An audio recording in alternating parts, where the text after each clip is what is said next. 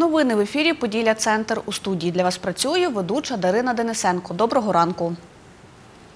Сьогодні вночі, повідомляє керівник прес-служби патрульної поліції в області Роман Мартинюк, у Хмельницькому виявлено одного водія з ознаками алкогольного сп'яніння.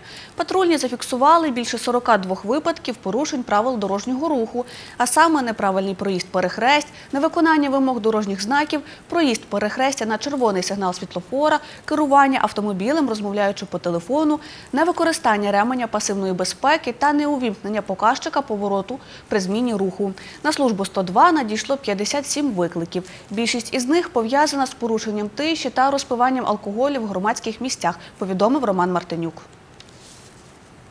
Нові птахи Пава та Павич з'явились у Хмельницькому зоокутку, що знаходиться у парку імені Михайла Чекмана. За словами виконуючого обов'язки директора комунального підприємства Парки і сквери міста Хмельницького Олександра Боднарчука, птахів потрібно назвати. Тому вирішили провести конкурс серед відвідувачів зоокутка, під час якого охочі можуть запропонувати власні варіанти імен для пави та павича. Зараз на відео ви бачите птахів, для яких відвідувачі зоокутка обиратимуть імена. Проводимо конкурс на обрання їм імен. Хочемо, е, щоб е, наші е, мешканці міста і відвідувачі зоокутка долучилися і дали ну, свої побажання висловили, надали їм якесь конкретне ім'я, щоб ми могли їм присвоїти своє ім'я. Всі, хто відвідує зоокуточок, е, заходить на зоокуточок, бере е, квиточок, е, а потім е, бере бумажку, бере ручку. Біля каси стоїть ящичок, який може написати свої там, е, побажання, яке ім'я хоче почути, чи щоб було воно це, і кидає в ящичок. І це він же і номер телефону. І він є учасником розіграшу. Конкурс триватиме до 12 серпня. За словами Олександра Боднарчука, упродовж наступних двох днів будуть підраховувати результати. Фінал конкурсу відбудеться 15 серпня, під час якого оберуть імена для птахів і нагородять трьох фіналістів. 11 немовлят народилось вночі у Хмельницькому міському перинатальному центрі. З них четверо дівчат та семеро хлопців. Про це повідомила чергова акушерка закладу Тетяна Плейзер. Найбільша вага малюка 3 кілограми 850 грамів, найменша 2 кілограми 600 грамів.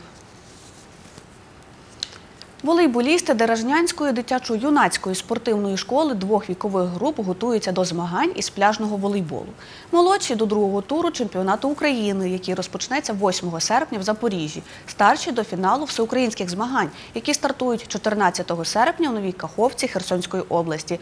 Тож зараз у спортсменів щоденні тригодинні тренування перед виїздом на чемпіонат, каже їхня наставниця, тренер Юзефа Слівінська. Раніше, коли я працювала, я завжди хотіла найвищий щабель посягнути своїми дітьми. А зараз я розумію, що ну, найважливіше це психологічна е, настрой, настрой в команді, а він дається багаторазовими виїздами. І коли діти не показують високого результату, а злагоджено працюють командою, для мене це найкраще. Вікова категорія в нас е, є найперспективнішою. Чому? Тому що діти почали рано ходити.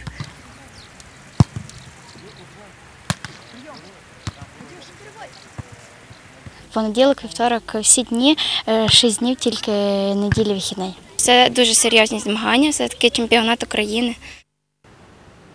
За словами тренера відділення волейболу Юзефи Слівінської, у національних змаганнях беруть участь дівчата та хлопці на рік-два молодші від заявленого віку. Усе для набуття гральної практики.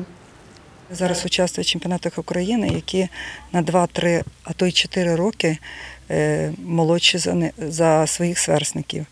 І на останньому чемпіонаті України, який відбувся в місті Затока до 14 років, дівчатка показали дуже гарний для мене результат.